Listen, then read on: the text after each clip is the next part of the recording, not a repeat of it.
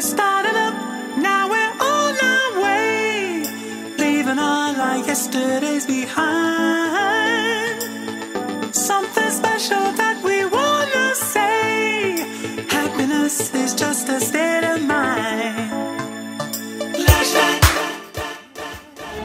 Around 1970 onwards, there was just this explosion of change in black music.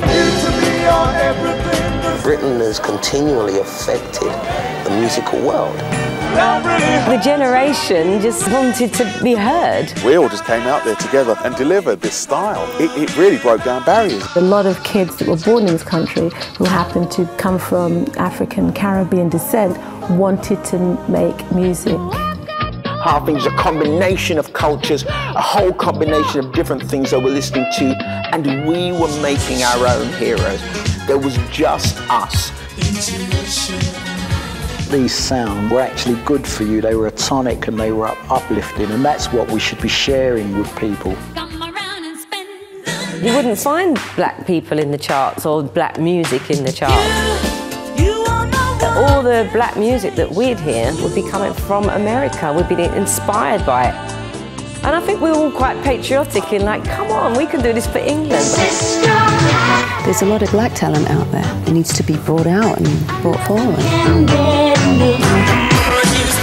In London, we were very lucky because we had a very, very strong club scene. People went out to dance, not to fight, not to stab people up, not to shoot, not to do this, not to.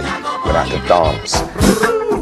And we became known on the circuit as the punk reggae band. In a lot of ways, we were very different to our counterpart, which at the time, which was Aswad. At the time, how you were promoted, the budget that was put behind you, was entirely determined by your skin colour. The 80s was more than just a fashion, more than just the music, it was an attitude. Soul to soul, it was a way of life. It didn't matter whether you were black or white, it really mattered in whether the music was good. English is not the common language, music is the common language. Overcomes everything. Flashback is something that takes you where you've never been before and brings you back. But it has great memories, positive memories. It shows you as a child that you don't have to be on a council estate being part of a gang with knives and guns. And so it was a great opportunity to really be yourself, which a lot of kids today don't have because they're, they're absolutely knee deep in peer pressure. I'm very glad I learnt about respect and values. Education is so important. I don't only think it's important that black people learn about black history, I think it's important that everybody learns about history and full history. Searching for a destiny that's. It's lovely that you are actually putting this together. And we need it. It's the history. It's going to be good for all, everybody and the youngsters to see all the different artists. Yeah, I, well done, guys.